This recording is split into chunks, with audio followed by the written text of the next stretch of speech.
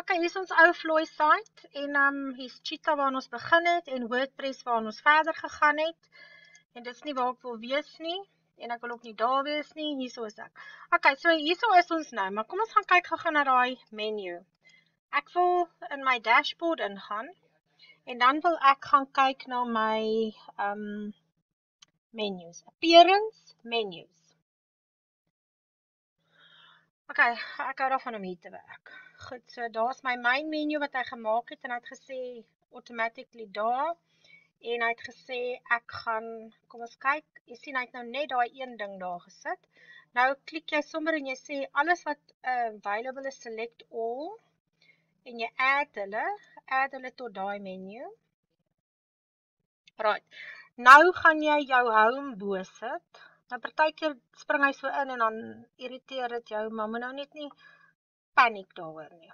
Check out blog basket. So die basket, so die home is daar, dan die basket, die checkout en die account. So kom ons sit eers die account, dan die basket, dan die checkout en dan die shop.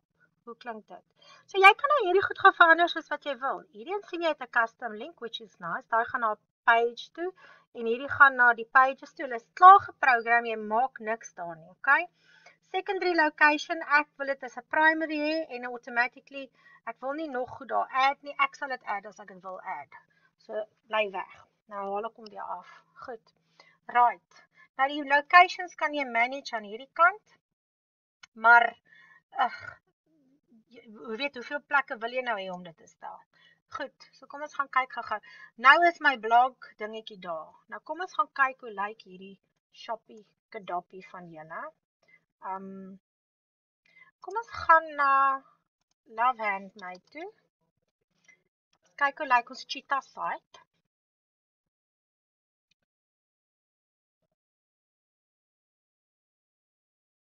OK, hierso is hy.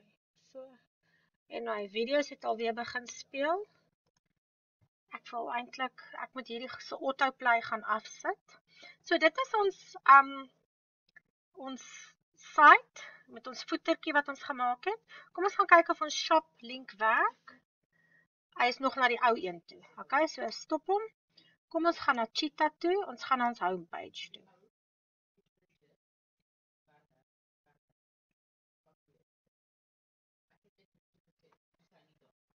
Okay, so wat moet ons doen? Ons moet twee gedoen. Ons moet hierdie shop ding verander en ons moet daai autoplay op daai video's gaan afsit. So kom ons gaan op die video en ons gaan na general settings, do not play, do not autoplay. Ek het dit net nou afgesit. Maar lyk like vir my het nog nie gesave nie. So kom ons save hom. Ek het hom publish. Ek het hom gesave, maar ek het hom nog nie gepublish nie. So daar publish ek hom nou. OK. Nou wil ons um hê hy moet hierdie shop link onthou jy klik op die menu, dan klik jy daar. En dan sê ons home. Kom ons check hulle. So hom gaan waantoe. Hy gaan na Love Handmade toe. Great, hy's reg. About moet na die about um anchor toe gaan. Sy het hom gedoen. Onthou die anchor sy weer in die panel. Die shop moet na shop. Daar moet staan shop. Shop dot lovehandmade.co.za. Okay, nou open in 'n new tab. Dis nice. I like. Goed, en dan register is waar hulle moet registreer. So ek het 'n dingetjie gemaak vir hom, help, want die help en die register is op dieselfde anker. En dan die help file het ek is gaan ook sê register of help, daar sê dis twee video's langs mekaar en dan contact us is daai contact vormpie wat daar is. Save my goed behoort te werk. Ek save daar. En as jy klaar is hier, kan jy hom publish.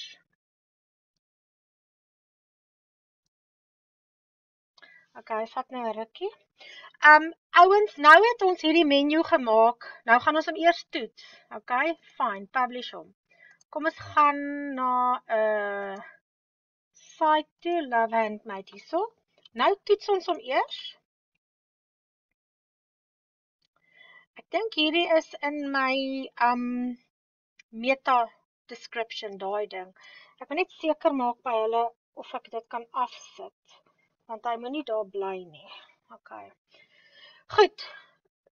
Nou kom ons kyk of ons shop werk. Nee, hy het nog nie gereload nie. Hy maak in 'n nuwe window oop. Kom ons reload net. Onthou die webwerf laai uit jou rekenaar se geheue uit. So as hy nie ge um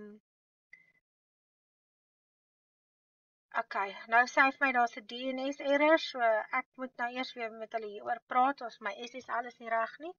Okay, maar ek gaan aan um proceed. Ek weet dis 'n safe site, maar hierdie error moet hy nie kry nie. As jy so 'n error kry, moet jy 'n ticket log en net vir hulle sê hulle moet jou SSL aansit. Love handmade. O, oh, wat sê dat sê hy? Hmm. Kom ons kyk net gou-gou. Of hy nou werk.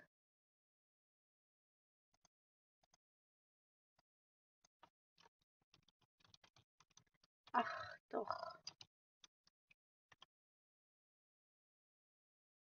Ek ek sal my my um DNS net gaan kyk hoekom hy vir my error gee. OK. Kom ons gaan terug hiernatoe. Um hiernatoe. As ek gaan hier klik, dan gaan hy shop love it. O, weet julle hoekom? Skus ouens, ek is nie baie lekker nie. Dit it ain't gonna work, hoor. Um Cheetah, gaan hiernatoe. Ek moet leer om meer Windows toe te maak. Ons um het hom nie geïnstalleer op shop nie, onthou julle.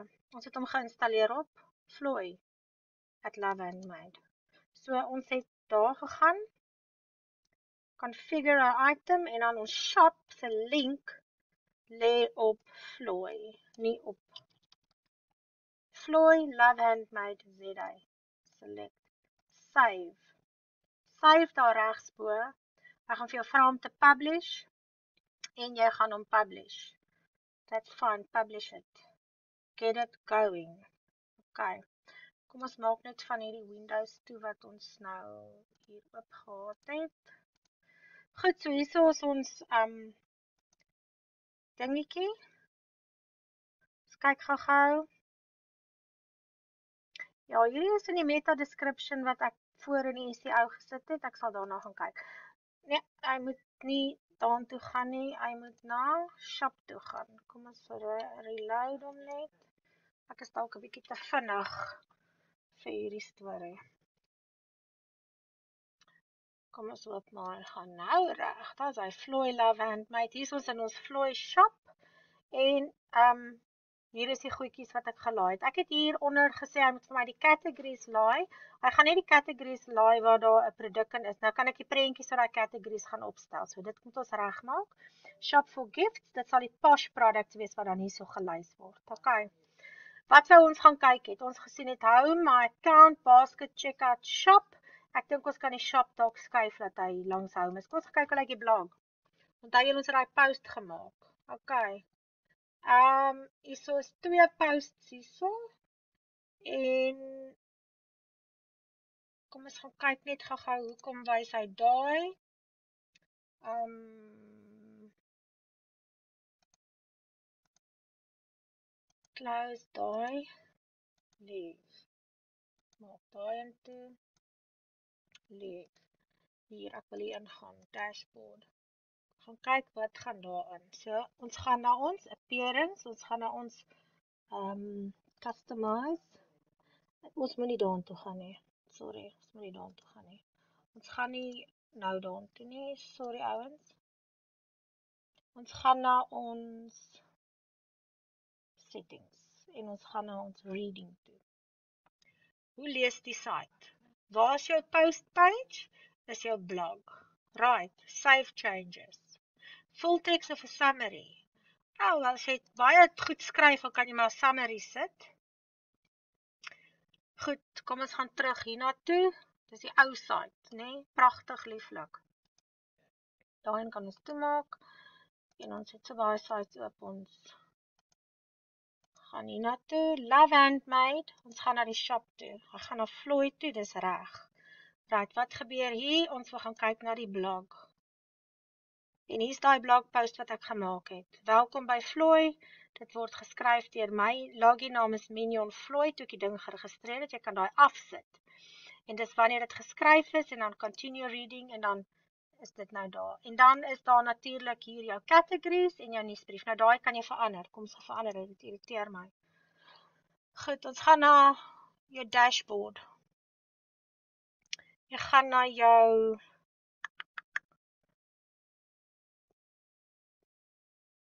products en jou categories.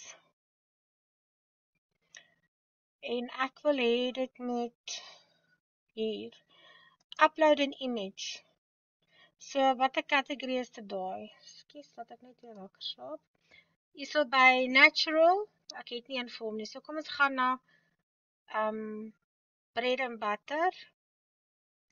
Edit hom en ek sê ek wil hier 'n image upload en ek gaan my files kry. Ek gaan na my um Floy Daar, wat het ons gesê? Bread and butter. Daar's daai logo.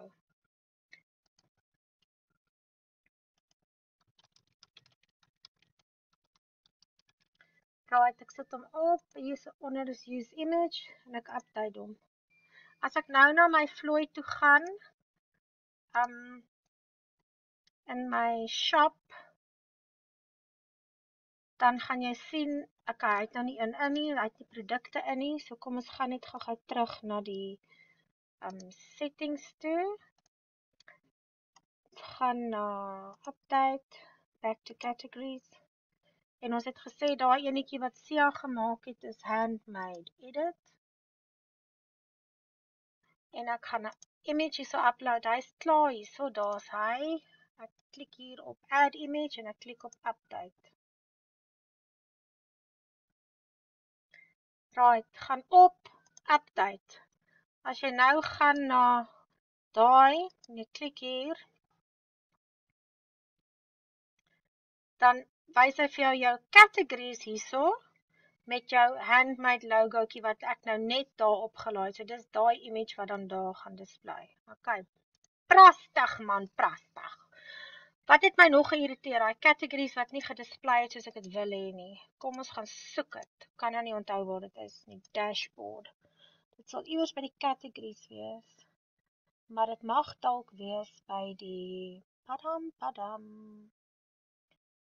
comments.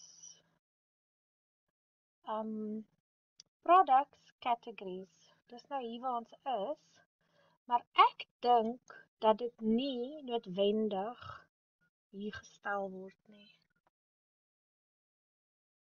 Display type. Products en subcategories both. Gaan ons net Jy moet kyk hier, jy verander die goed hier, dan kyk jy hoe display dit. OK. Um of hy al die kategorieë gaan lys en of hy dit hoe hy dit gaan lys. OK, dit gaan nie daar wees nie. Ek dink nie dit gaan um 'n verskil maak vir my daai nie. Ek wil gaan kyk by die widgets, die appearance widgets. En as ek hier gaan kyk by my categories, dan gaan hy vir my sê hoe display dit. Display is 'n drop down, show post counts of 'n hiërargie. Um ek hou nie van dit nie. So kom ons wys 'n hiërargie. Um so categories daar, save. Dis nou die naam bo. As jy nou daar sien soos wat ek nou daar getik het nuusbrief. Dan nou sit ek mos daai code by teks in, onthou julle. So categories gaan vir my my kategorieë wys. So kom ons sê net dan en ons gaan kyk of hy beter display. Skus ouens. Ons gaan maar weer 'n lang pad in. Reload. En hier is die prentjie en hy wys hom nie nou meer hier nie. So ek het nou iets gestel wat ek moet afsit. Ek soek my categories. Jy sien daarso is nou general. OK. Kom ons gaan kyk net weer as ek by my widgets is. Hierdie ene verander nie. Categories. Show product count. Save. En onthou hierdie is op die sidebar. So jy gaan maar net kyk waar hy oppop. So kom ek verduidelik gou vir jou. Jy het jou bladsy, jy het jou categories, hierdie goeders is in widgets en jy het jou produkte wat hier is. Jou WooCommerce settings is hier vir jou shipping en goed en jou produkte is hierso. Great.